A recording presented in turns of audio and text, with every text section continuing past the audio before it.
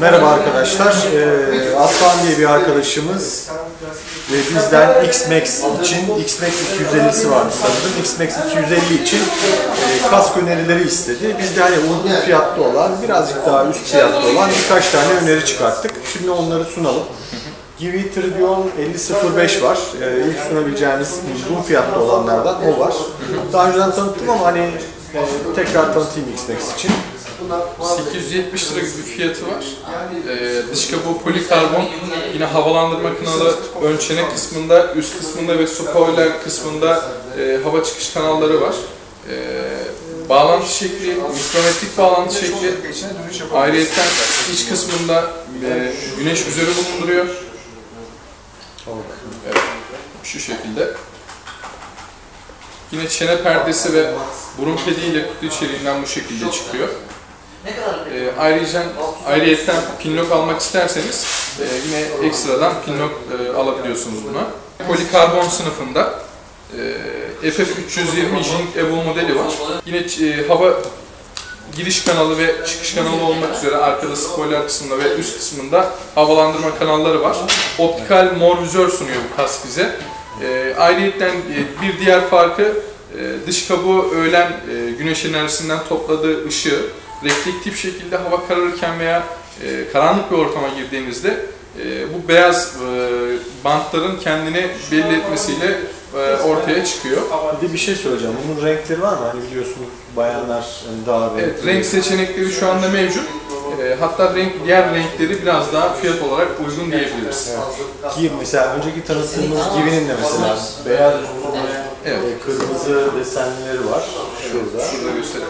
Ondan sonra veya üstüne kırmızılı da alabilirsiniz. Veya işte hani ben e, yok biraz daha fazla renkli falan istiyorum derseniz o 320'ler vardı galiba Evet, mi? FF300 FF320'ler falan da alabilirsiniz. Onlardan da kullanabilirsiniz ama onların tabii ki dışı polikarbon veya termoplastik mi?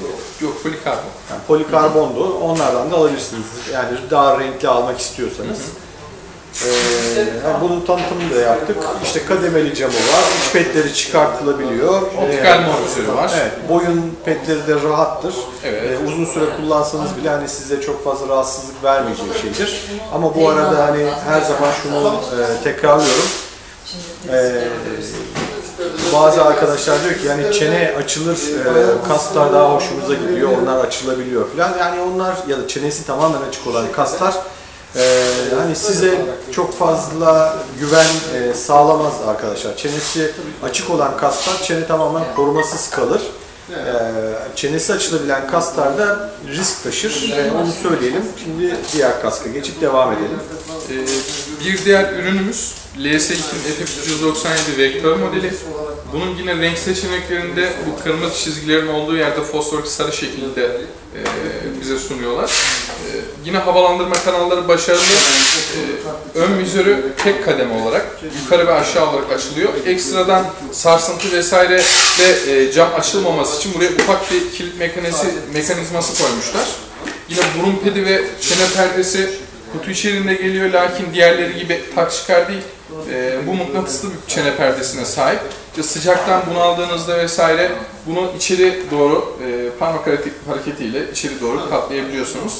Ve diğer bu iki tane kaskımızdan farkı mikrometrik bağlantısı çelik alışımlı mikrometrik bağlantı. Yine burada acil çıkış pimleri e, bulunuyor. Bunları çektiğiniz zaman herhangi bir e, tehlike arz eden durumlarda e, komple petleri çıkarabiliyorsunuz. Yine yıkanabilir bir e, iç petleri var. Evet. Aynı zamanda diğer FF320'deki gibi optikal mor vizöre sahip. Evet. Yani bu aynı zamanda e, gözlükle beraber giyilebiliyor. Evet. İşte dediği gibi e, optik bir vizöre sahip. E, iç petleri de rahattır ve şuraları da yan kısımları da desteklenmiştir. Özellikle Evet. bu çelik galiba değil mi? Yani çelik plakalar Evet, kullanılmış. çelik plaka kullanılmış. X-Max 250 için aslında hani bunları önerdik biz.